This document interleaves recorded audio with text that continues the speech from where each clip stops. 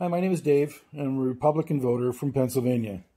Our country has a long tradition of an orderly, trans- peaceful transition of power from one administration to the other. This year should be no exception.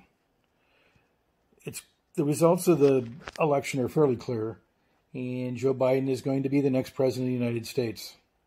It's time for the Trump administration to recognize the results, recognize the will of the people, and begin the transition of power from one administration to the other. We need to be able to hit the ground running on January 20th. The delay is only going to hurt the security of this country.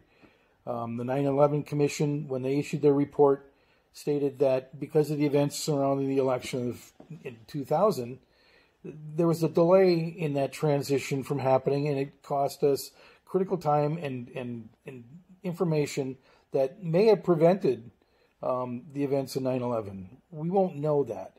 But we do know that in order to maintain our security going forward, that, that orderly transition of power has to take place.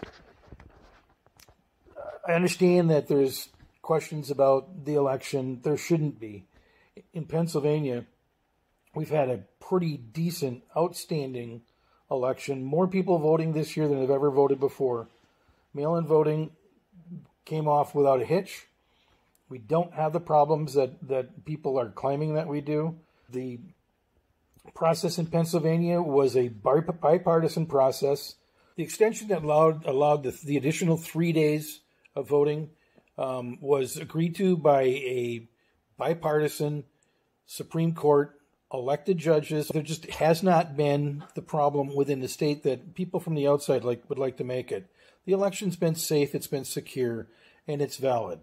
The Trump administration now needs to start working with the Biden administration and getting that transition going so that our interests, the United States of America, our interests are being protected.